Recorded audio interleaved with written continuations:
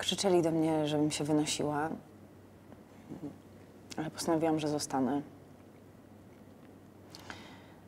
E, Więc wepchnęli mnie do suki, która była wypełniona samymi mężczyznami.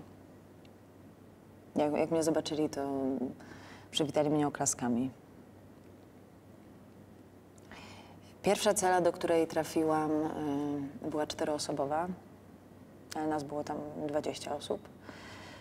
Druga była sześcioosobowa i było nas 50. Mm, Nie było ani jedzenia, ani picia.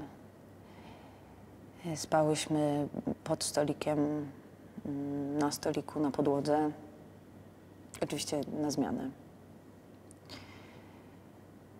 Ostatniej nocy e, walili co godzinę w drzwi, tak żeby nikt nawet nie pomyślał o spaniu. Było bardzo duszno, więc, e, więc nie rozmawiałyśmy ze sobą, żeby oszczędzać powietrze. Potem jak trafiłyśmy do innego więzienia, to kobiety, które tam pracowały, płakały, jak słuchały naszych historii. I wtedy Pierwszy raz od trzech dni dostałyśmy coś do jedzenia.